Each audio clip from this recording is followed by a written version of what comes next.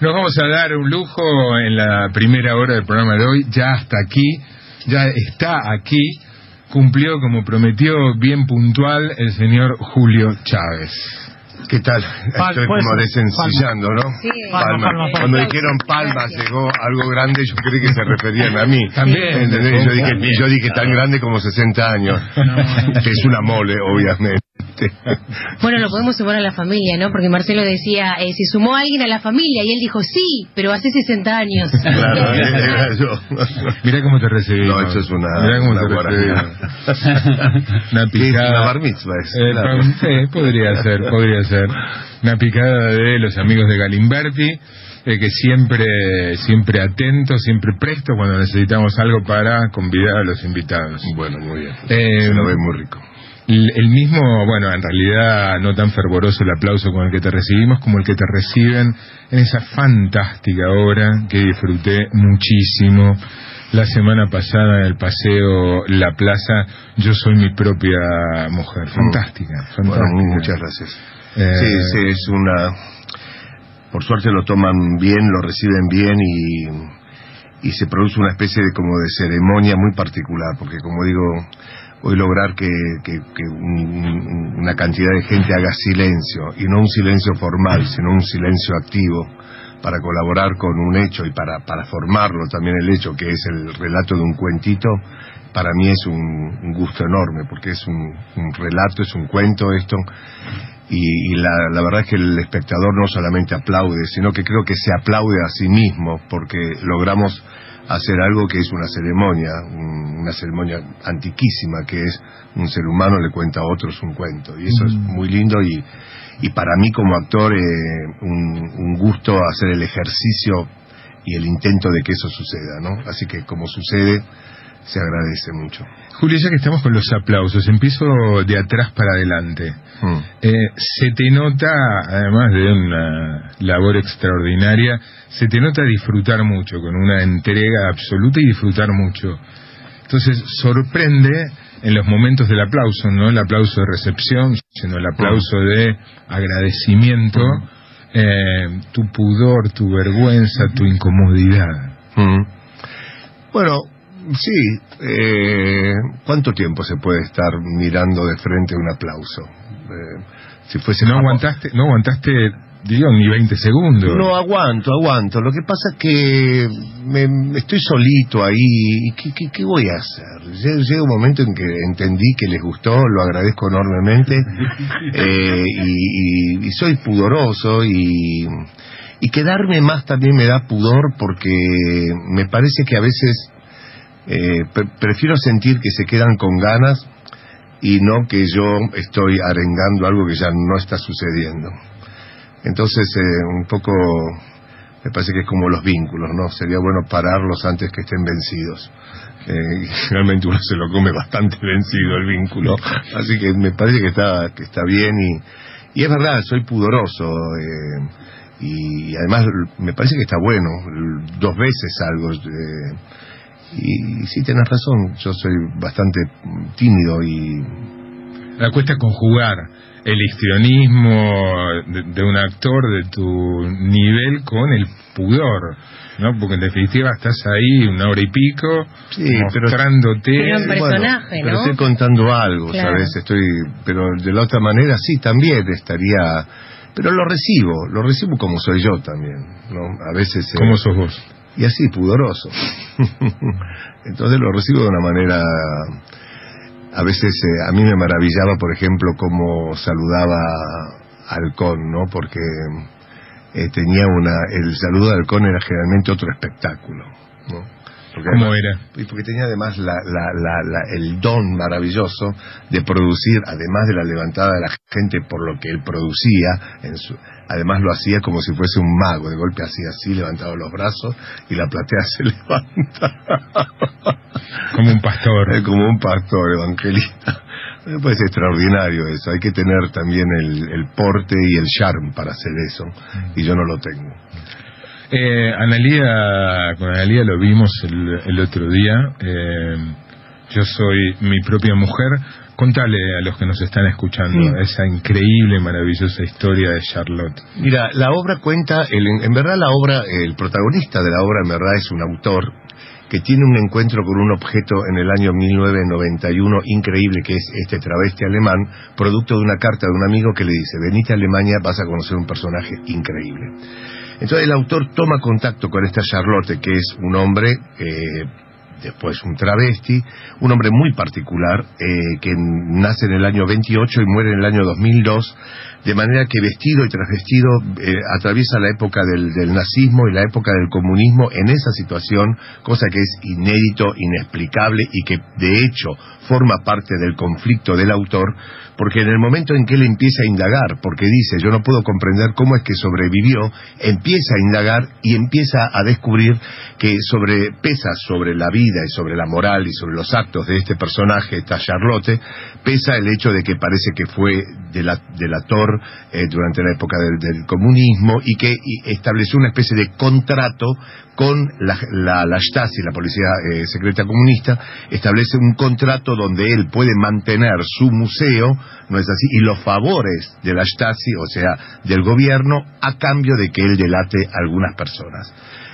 Esto se dice, él lo niega, y ahí se produce una situación conflictiva que forma parte de lo que le pasa al protagonista de la obra, para mí, que es el autor, aunque el objeto hermoso que creo que el espectador se encuentra el atractivo. eh, eh, es el objeto que el mismo o sea el autor presenta un objeto en escena que les dice le voy a mostrar un objeto y díganme si no vale la pena haber caído en las redes como caí yo entonces lo que el espectador tiene que obviamente establecer es un vínculo de mucha simpatía no solamente con el autor sino sobre sobre todo con la Charlotte para que comprenda cuál es la situación de este autor que dice se puede creer lo que es este personaje y en el final, bueno, él, de alguna manera hace su, su cierre acerca de, de cómo hay que escribir una obra de teatro y hay que establecer de alguna manera una opinión, cosa que también la obra habla acerca de esta dificultad de establecer opiniones acerca de la vida y sobre todo de la,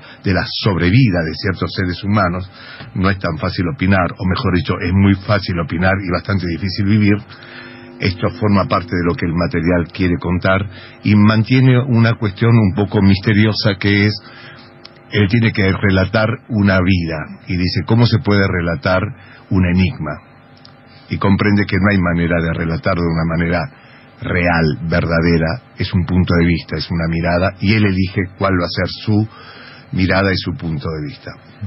Es una obra hermosísima, además se trata de un ser que ha vivido, murió hace muy poco, eh, y es un material muy muy atractivo para un actor, es un regalo, pues una partitura muy particular y, y yo la yo la vuelvo a tocar en este momento, yo ya, ya, ya hice... Hace nueve años. ¿Eh? Hace nueve años la habías hecho. Hace nueve años, porque entre otras cosas quería yo chequear hoy esta partitura, cómo me encuentra a mí como intérprete y cómo yo encuentro la partitura como intérprete no es tan fácil para un intérprete volver a hacer un material después de nueve años, por muchos motivos, y este material se aviene mucho y muy bien. Este, este plato es imposible hablar con esto delante, alejarlo un poco. Eh, eh, bueno, esa es la, la, situación. Un travesti, una travesti sobreviviendo al nazismo y al comunismo en la Alemania llamada democrática. Eh, vos recién planteabas el enigma del, del director. ¿Qué te pasó a vos? Cuando vos leíste el libro, no conocías, hubo un momento en que, en que conociste la historia. Sí, bueno, a mí me pasan muchas cosas porque yo soy hijo de, eh, de, un alemán eh, que tuvo que irse de Alemania, pasó el nazismo, digamos, o mejor dicho, por suerte no lo pasó del todo, eh, porque no lo hubiera podido pasar.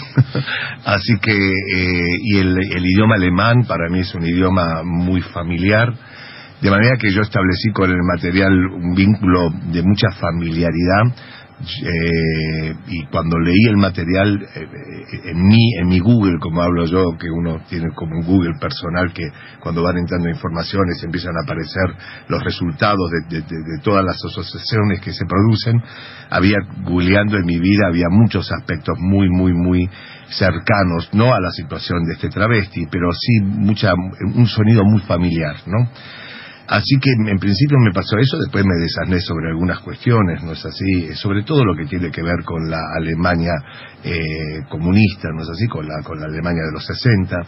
Eh, y además conocí un personaje increíble que es esta Charlotte.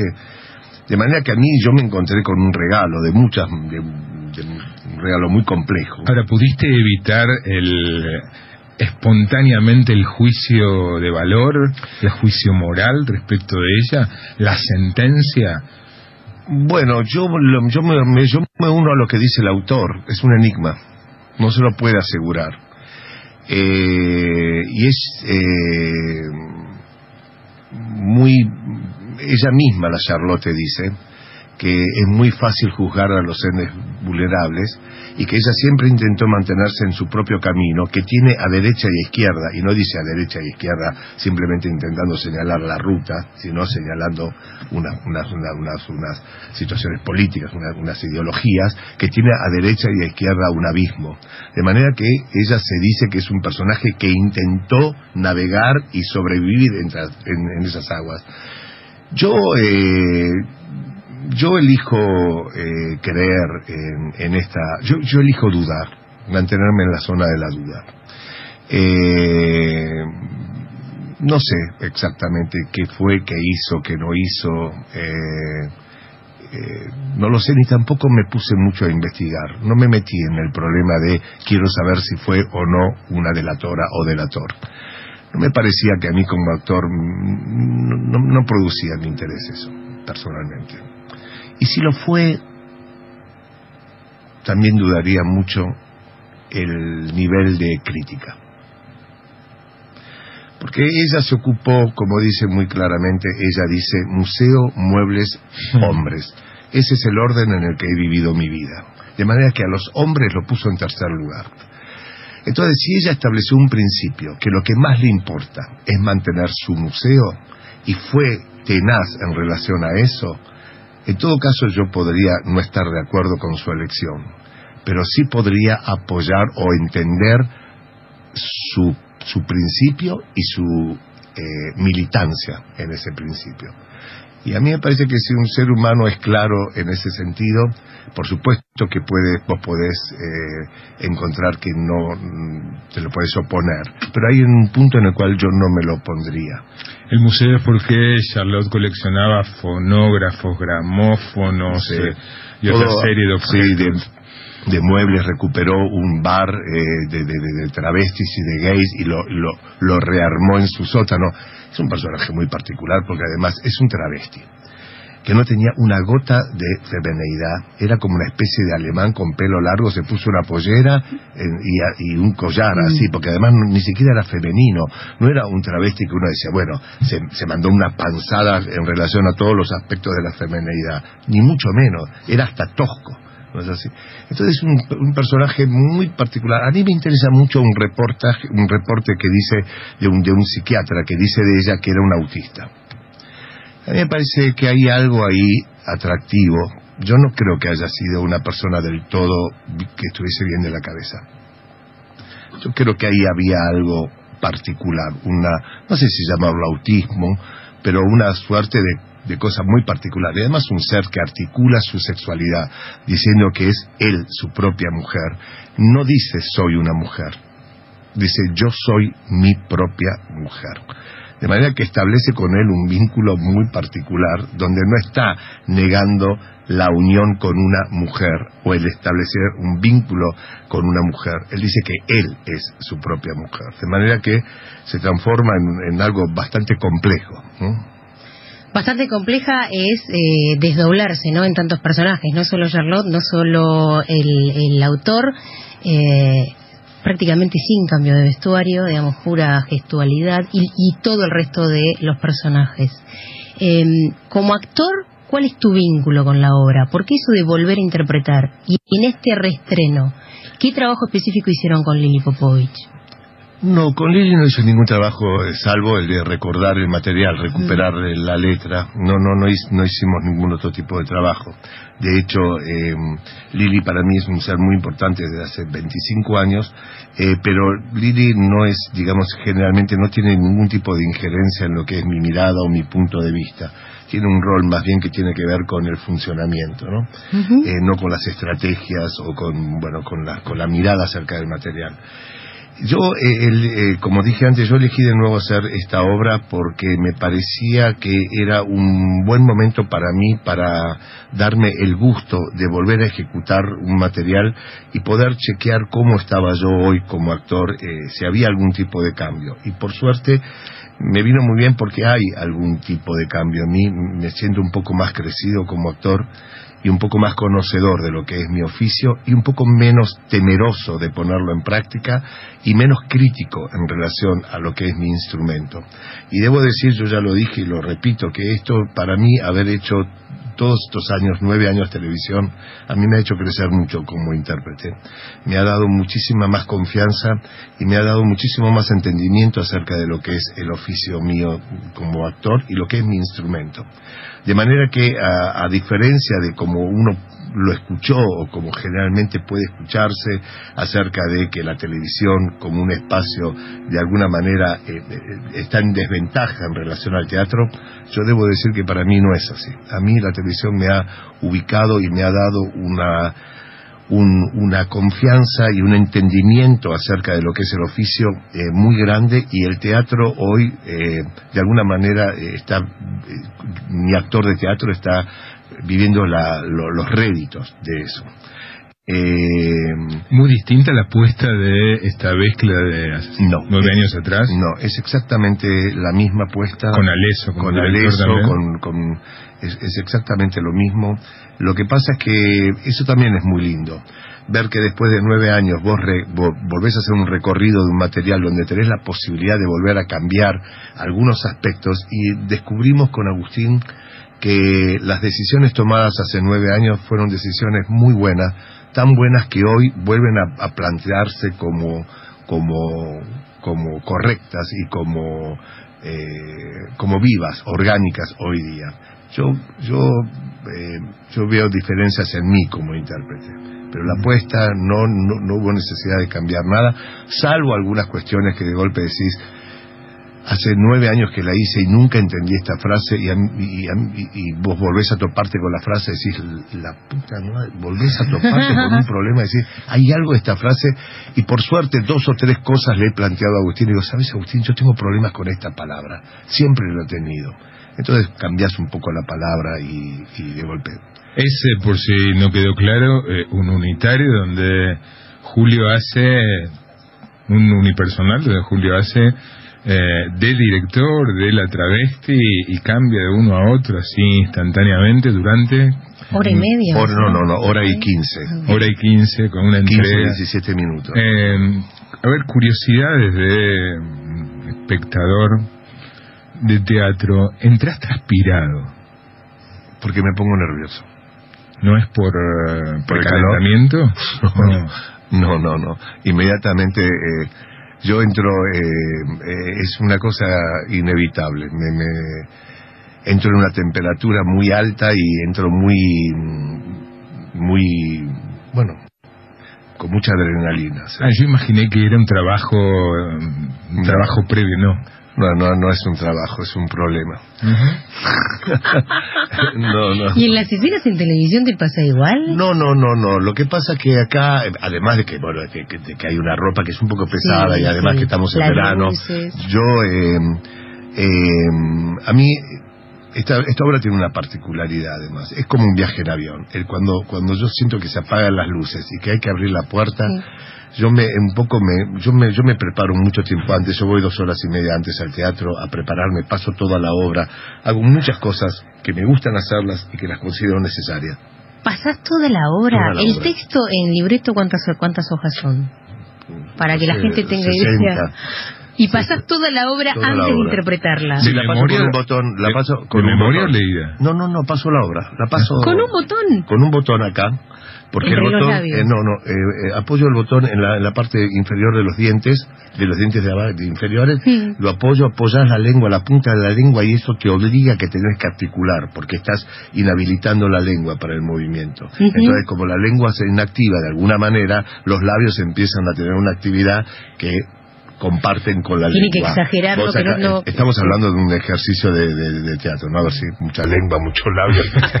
Y el botón no se lo traguen. Flaco, viejo, trae un botón hoy a la noche. Eh, entonces, de esa manera, eso me obliga a articular. Y, y como, como yo tengo la idea de que hacer un, un- un- viajar, lle- transportar una obra del comienzo hasta el final, tenés que estar muy preparado porque puede pasar muchas cuestiones. Entonces yo, yo, yo siempre lo relaciono a un viaje en avión, es decir, como si fuese un piloto. Yo, yo despego y me encomiendo en un punto a llegar y de hecho hay algo pa- parecido que cuando se llega al avión la gente aplaude y yo internamente tengo a alguien que aplaude diciendo aterricé, llevé a los espectadores y no hubo grandes problemas pero me entreno como también se entrenan los pilotos y todos los que preparan un avión por si hay problemas, ocuparse de que todo esté por las dudas. Entonces voy a decir, ¿por qué están tantos tipos arreglando ahí que suben, que bajan, que hay mangueras, que esto? Y bueno, están cuidando de que el avión esté preparado para un buen viaje o para un mal viaje o con un viaje con problemas. Y a mí me gusta pensarlo así, porque mira, hago lo que me gusta, me va muy bien. Hace muchos años que lo hago, puedo seguir trabajando, vivo de esto, eh, eh, vivo muy bien de esto, eh, me, ha permitido muchas cosas. Yo digo, en un punto yo también debo hacer cosas exigidas para justificar todo eso.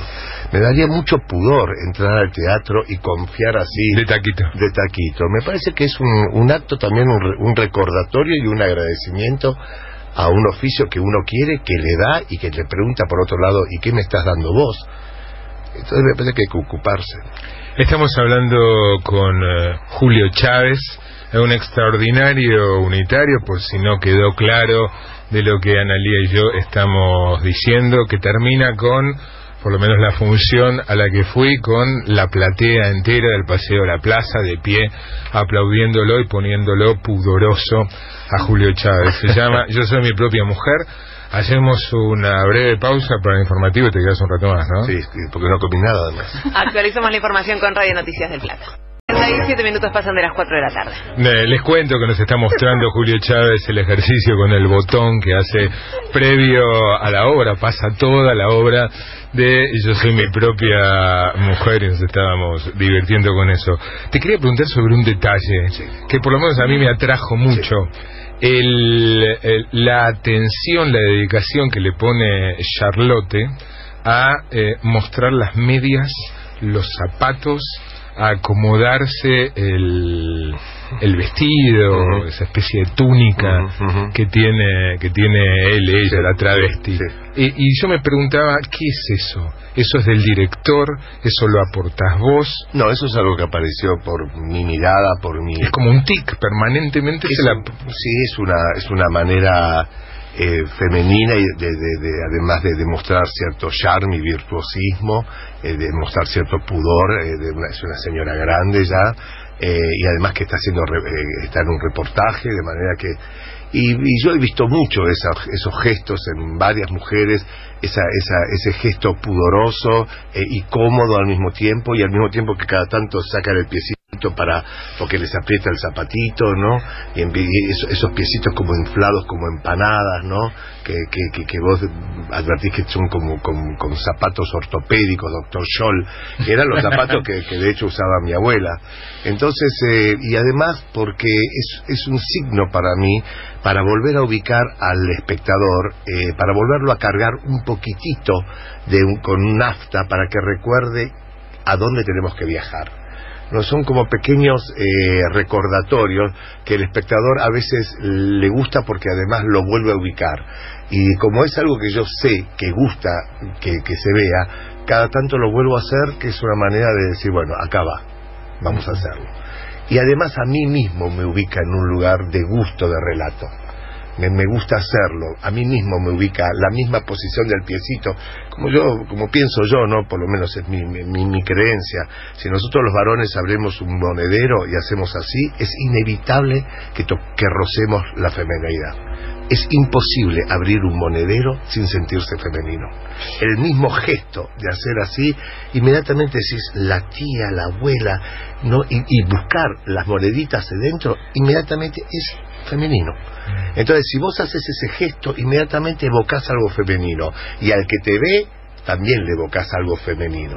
Entonces, eh, son pequeños signos que lo, ubican al espectador como diciéndole estamos en tal viaje, estamos en tal, en tal país. Son elecciones que uno hace que a veces son acertadas y a veces el espectador no viaja. Eso es tuyo.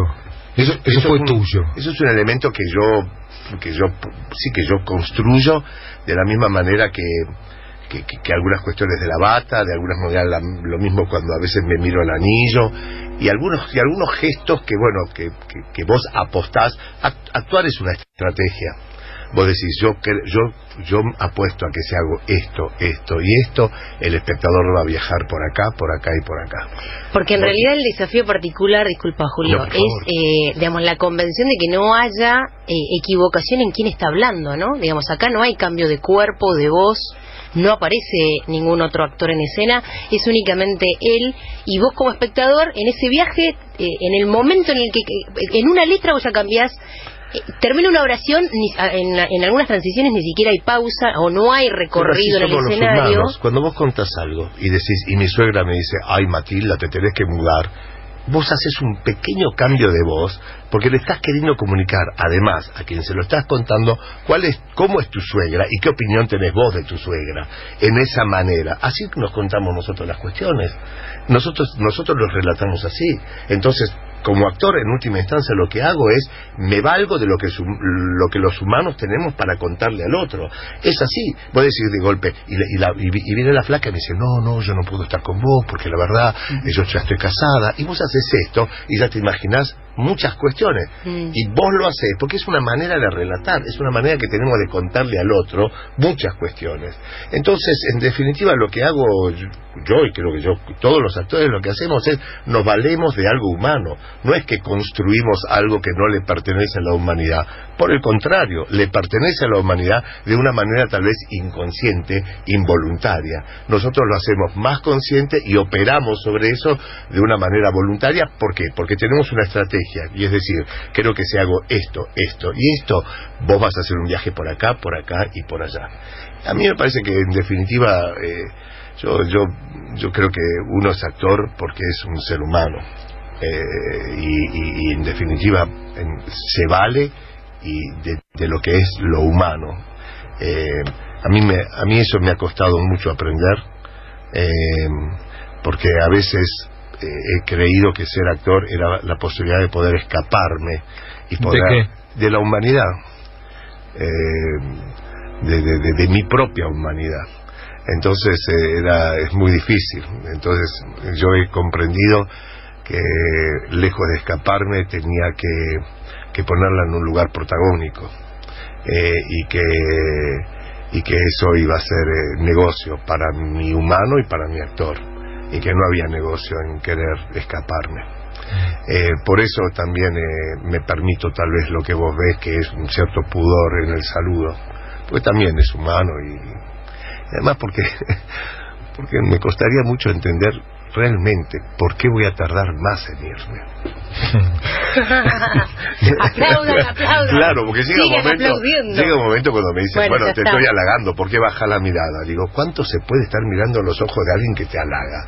Tenés que ser, para mí, muy particular para decir, ajá, y sostener la mirada. Llega un momento en que bajar, entre otras cosas, para que no te pueda seguir mintiendo. Me pasó algo, me pasó algo mm, que para mí lindo, porque me gustan las casualidades y leyendo un poquitito más allá de eh, la obra de teatro, ¿estás filmando, vas a filmar o terminaste de filmar no, una película? Terminé de filmar El Pampero, eh, la, en verdad ya la filmé hace como nueve meses, pero se va a estrenar prontamente, calculo ya a mitad de año, que es una obra, es una película que hago eh, conjuntamente con Pilar Gamboa, es un, muy hermoso cuento de una travesía, de una, de una pareja que no es pareja, eh, en un barco, en, una, en, un, en un velero. Y es un, es un muy lindo cuentito que lo dirige Matías. Eh, Matías, eh, Matías, bueno, eh, ya, ya me va a salir. y, eh, y voy a filmar a fin de año una película de una de un cuento de Holguín que se llama Monótona Oscura Sangre o Oscura Monótona Sangre. Y la casualidad es que estoy leyendo un libro de Sergio Holguín. Ah, Que no es ese. No. Estoy leyendo. eh, mm, los amores no, no son felices. No hay amores felices. Así se llama novela. eh, voy a hacer y esta es una, una novela corta de él. Martín Lucchesi. Matías Ma- Lucchesi. Matías, sí, muchas gracias. Bueno, ahí te Muy amables. Matías, Matías. sí. El siquiera- apuntador, ¿no? ¿Eh? Los apuntadores. ¿De quién? Sí, sí. Sí, los- Sí, lo que es el Alzheimer también. eh, Él dice Alzheimer. Alzheimer. Alzheimer. Sí, se dice así, Alzheimer. Lo dice Charlotte, sí. Eh, y voy a, sí, voy a hacer eso en el mes de noviembre, eh, si Dios quiere. Y, ven- y volvés al cine después De de, mucho años. tiempo por haber hecho tele. Es que yo eh, eh, he entendido que como hoy se hace tele o como a mí me ha tocado en suerte hacerla, extraño tanto al cine.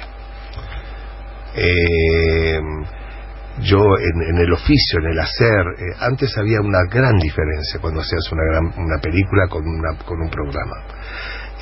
Yo hoy por hoy, eh, haciendo lo que hago, encuentro que es un, un trabajo. Como desafío profesional. Sí, inclusive como, como lo podés lograr escenas eh, o momentos eh, que antes le era, eh, le era patrimonio del cine. Y hoy para mí no es así. Pero seguís colocando el teatro escalones más arriba. No, yo nunca he colo- no, no, no, ¿No? no. Yo, yo, para mí lo que hay que resolver eso está en el escalón de arriba. Y es lo que cada cual debe resolver en cada momento, eso está en el escalón de arriba. No tengo preferencias ni tengo valores especiales acerca de los espacios. He aprendido y he, y he comprobado que ningún espacio en sí mismo es responsable de, de- de muchas cosas que a veces los, nosotros nos desligamos creyendo que es la culpa del espacio. Entonces, y bueno, querido, televisión. No, no, bueno, querido, televisión no, puede no ser así. Entiendo que puede ser así, pero no, no necesariamente es así. Y ahí yo creo también en algo que tiene que ver con... También hay muchos tipos de situaciones, yo, yo hablo por mí, ¿no? Yo también creo que tiene que ver con una cierta autonomía y una cierta decisión eh, que no pasa por el espacio, que pasa por uno, por mí, por lo que he decidido y por lo que me juego a hacer, ¿no? Por supuesto, en todos los espacios pueden pasar muchas cuestiones, pero también en el teatro puede pasar, ¿no es así? Cuestiones que hacen que una experiencia cultural extraordinaria, artística, se transforme en una catástrofe. ¿No es así? Con todos los eh, preámbulos de en el teatro tal, Shakespeare en el teatro San Martín, no sé cuánto. Y sí, viste, pegaste un balazo. Hay oyentes que llaman, tenés los auric- auriculares. Lo que estaba tirando, ¿eh? El 4535-2222, eh, llame. Sí, por supuesto, y también a través de las redes sociales. En un ratito vamos a leerlos. Hola, buenas tardes. Habla José de Rosario. Soy cordobés, pero vivo en Rosario hace muchos años. Lo he visto en Córdoba, Julio. Lo he visto en Rosario. Y siempre, siempre es, ha sido y es un excelente actor. Gracias por tu arte, Julio. Gracias. Hola Esloto, buenas tardes. Te habla Emilce de Villaluro. Bueno, realmente un lujo la visita de Julio Chávez. Fui a ver la obra hace unos 15 días y me pareció algo extraordinario su actuación, así que le mando un fuerte abrazo. Lamento haberme perdido bastantes obras que él hizo. Gracias. Sí, buenas tardes, Marcelo. Estoy adonadada, estoy enamorada de ese actor. Es una belleza, es una persona impecable. Creo que es Alfredo Alcón y Julio Chávez, Alfredo Alcón. Es una belleza, es una belleza de persona. Un beso grande para todos ustedes, un abrazo para cada uno y uno especial para Julio. Desde Los Toldos, General Viamonte, les hablo, Adriana. Beso para José, para Milce y para Adriana. Te queríamos poner un poquito más pudoroso. Viste, dijo dos veces halcón y una vez Julio Chávez. O sea, me puso de, de jamón en, la, en el sándwich. Ah, no, eso no lo voy a permitir.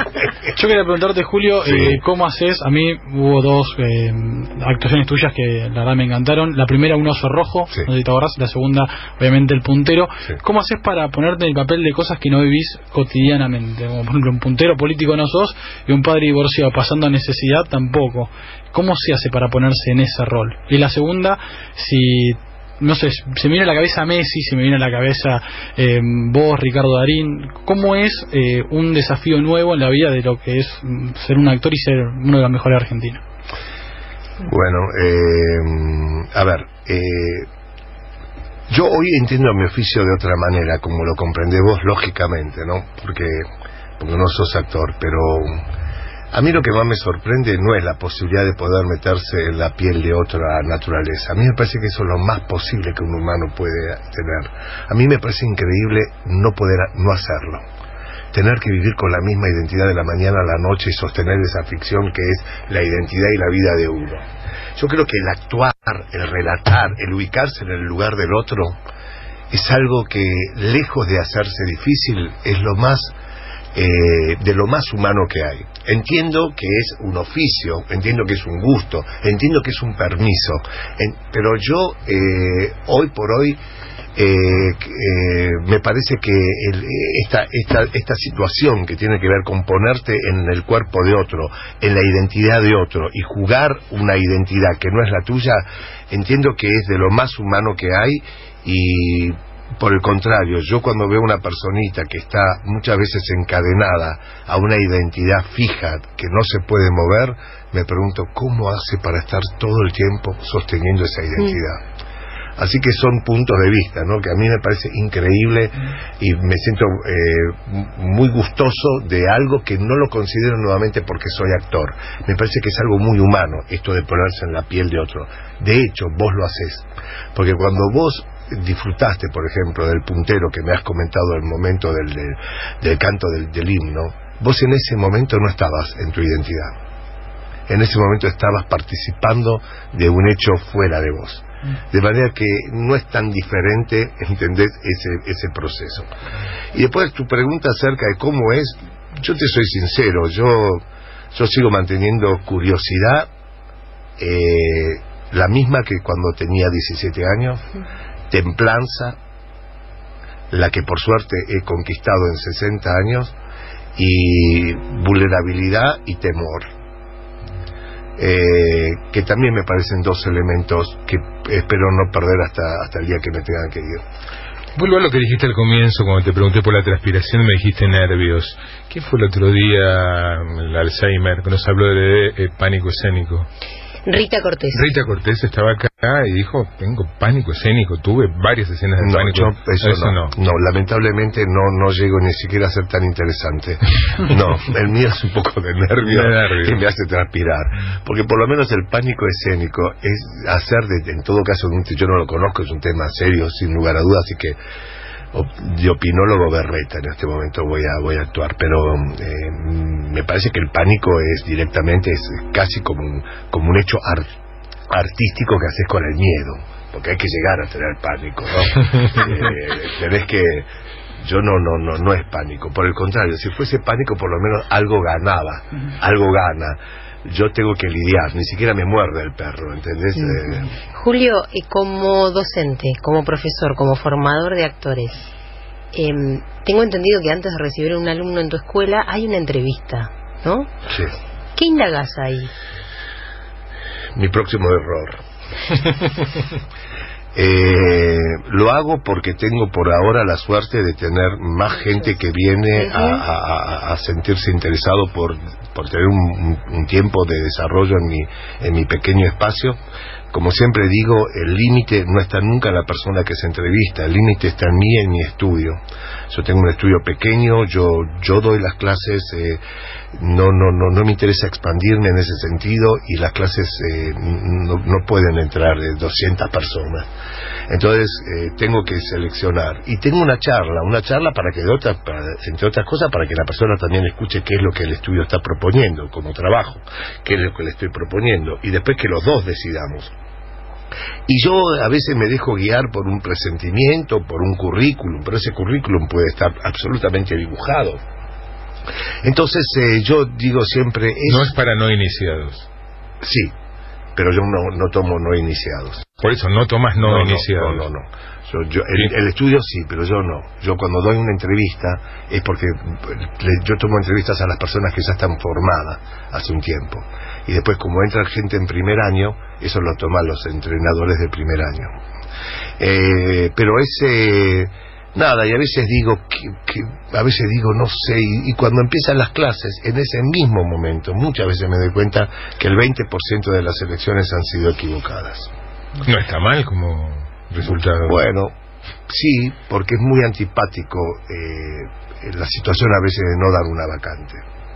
Es una situación de mucho porque a veces digo quién cómo entonces, eh, a veces son, a veces digo, bueno, toma prueba, pero también un examen, podría ser un examen, una prueba, un monólogo, y si tuvo suerte ese día y estuvo inspirado, y al día siguiente, ¿no? Es como un poco decir, bueno, es, un, es una cosa un poco azarosa. ¿no? ¿Los estudiantes de teatro quieren actuar para ganarse la vida o hay muchos que se acercan a tu escuela como a otras porque quieren desarrollar, expresarse.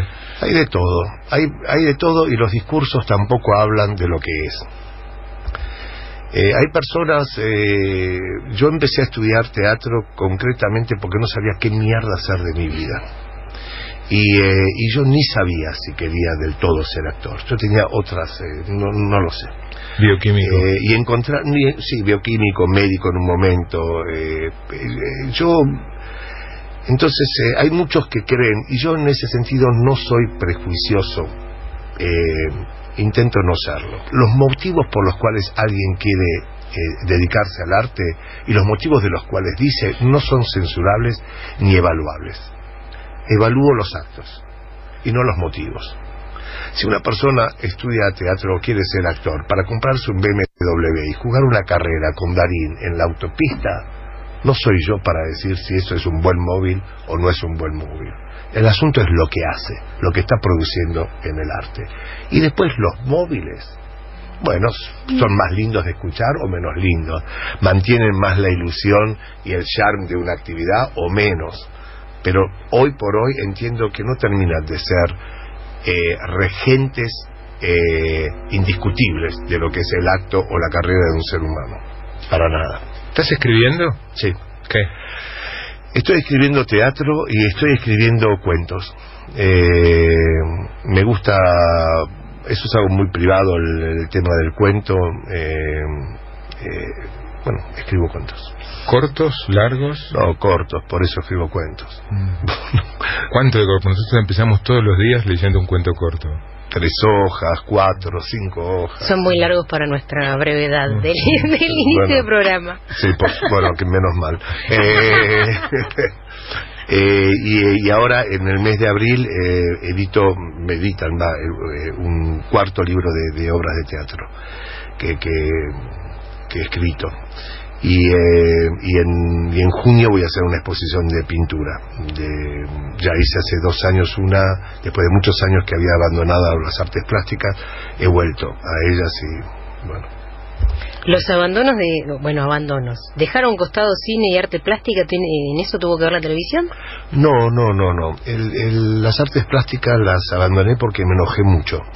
Porque hice una exposición que para mí fue un muy, una exposición muy atractiva y, eh, y yo me enojé mucho con la dificultad que veía de que, de que, de que yo pudiese, el espectador, mirar mi obra eh, eh, quitándose de encima el hecho de que lo estaba haciendo un actor.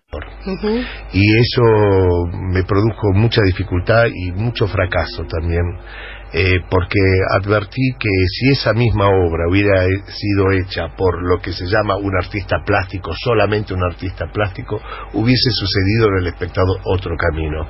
Pero como lo hago yo, entonces mi obra, en verdad, mi obra estaba obstaculizada por mí mismo. ¿Y yo por no le hacía bien a mi obra. ¿Y por qué habría sido, por qué sería distinto ahora en esta segunda oportunidad? Porque ya no me importa. Pero además Entonces ahora... me he vuelto en ese sentido autónomo. He decidido eh, abandonar el, el deseo de que los artistas plásticos me acompañen o que pudiese yo establecer algún tipo de vínculo de hermandad o de conocimiento o de acercamiento, ¿no es así? Entonces, eh, pero como he sentido cada vez que veía mi taller abandonado, sentía que había algo ahí que que me estaba de alguna manera, no voy a decir llamando, no voy a hacer de esto las musas inspiradoras que me decían Julio, ni mucho menos. Pero eh, bueno, eh, decidí volver por suerte. Pero mantenés como artista plástico tu, eh, tu nombre distinto al artístico de actor. Sí, pero ahora lo he unido. Después de justamente de toda esta situación, yo antes me, yo mi, mi nombre verdadero es Julio Hirsch y yo he, unido y ahora eh, antes yo decía bueno Chávez como actor Hirsch como pintor y después dije bueno basta esta ronchada esta chongada y vamos a juntar todo y se terminó. Eh, aquí me, la productora quien recién viste sugiere algo que me resulta interesante. Si se hiciera House of Cards ¿viste un capítulo? sí. ¿No te ves como sí, lo que pasa es que yo soy bastante parecido a él Va, va, va, yo, no, yo no lo creo, pero me lo han dicho. Mira, sí, la, la, verdad me gustaría ser mujer para hacer el papel de ella. De ella. Me parece que es la que salva la, la serie. ¿No te gusta mucho? Me gusta, pero... Eh, yo, yo he leído Ricardo III de Shakespeare y en verdad es como un Ricardo III eh, llevado a una contemporaneidad que no está mal. Pero cuando se habla de la Casa Blanca y todo eso de los presidentes, yo, yo quisiera ser una rata para realmente ver cómo es eso. Porque aunque me lo muestran con un guiño como diciendo, estamos mostrándote cómo es, yo digo, así no es. Y a mí yo, hay ciertos espacios donde a mí realmente me gustaría ser una hormiguita y ver cómo es eso. Porque no puedo creer que sea como me lo muestran en las series. Entonces, con esta serie, sí, me gusta, claro, son actores extraordinarios. Ella, sobre todo. Para mí, ella le da a la serie una personalidad y una particularidad que, que sin ella, para mí, pasa otra cosa. ¿Tienes función hoy? Ahora mismo me voy. ¿Te vas para allá? Me voy, me voy a entrenar. ¿Con tu botón? Con mi botón. con, me, inauguro la sala de alguna manera. Llego, prendo las luces de la sala, me tiro en el escenario y paso la obra y me gusta, y me gusta cuando llegan las acomodadoras y digo, ellas están haciendo su laburo, yo estoy haciendo el mío, me... y cuando termino la función y si todo salió bien, me... ¿Con qué te agasajas? Eh, con una copa de vino y vuelvo muy contento, muy, muy, muy pleno, porque para mí es una función, es casi un encuentro, casi también de pienso mientras hago la función, reflexiono sobre el oficio, hago experimentos, digo, mira vos, esta frase cómo salió claro y es un es un encuentro con el oficio para mí muy grande. Para mí trabajar eh, hacer eh, ejercitarme como actor y hacer una escena es el encuentro con el oficio. Es en ese espacio donde me encuentro con mi oficio. Mucho más que cuando me encuentro con un actor. Digamos para mí el encuentro con un actor el, el, el verdadero encuentro es en la escena. Por último, estoy pensando cómo preguntártelo. Eh, en, tu vida, en tu vida cotidiana, mm. ¿cuándo es la parte de eh, el Julio Chávez que, que baja a tierra, que no está pensando ni en su oficio, ni en cuestiones complicadas, ni en desafíos, ni... No tengo mucho vínculo con ese Julio, ¿No? No, no este, he establecido también un vínculo con el, con el hacer, con mi oficio, donde... teatro, escribir, cine, televisión, plástica... hoy, vengo de terapia, por ejemplo, y, y en mi, es un espacio obviamente de lo más privado que tengo, pero en el... cuando yo, yo mismo me pienso a mí mismo como una escena ya la desarrollo, la pienso, la articulo, me expreso, eh, si hablo de mis vínculos, de mis seres, de mis amores, de mi esto, de aquello, de las muertes, de mi vejez, todo lo entiendo como una escena y mi oficio me ha ayudado también mucho a, darle lenguaje a la existencia. Yo sin este oficio no sé qué lenguaje utilizaría. Entonces, eh, como utilizo también un lenguaje muy similar y las puertas están siempre abiertas, ¿sabes? No tengo eh, privacidad en relación al espacio del oficio, al espacio privado. Se escuchan unos a otros, ¿sabes? Es como si puse una pared, pero es de durlo. Se escucha. Julio, doblemente gracias. Gracias No, por, venir. favor, es un gusto para mí. Y gracias por, eh, bueno, por habernos hecho disfrutar un montón de veces y la última eh, habiendo visto Yo soy mi propia mujer, eh, dicho sea de paso, en el paseo La Plaza de miércoles a de domingo. jueves a domingo. De jue- ah, hoy jueves, claro. De jueves a domingo. Eh, si pueden, no se la pierdan. Gracias, Julio. Muchas gracias a ustedes, de verdad. Actualizamos la información con Radio Noticias del Plata.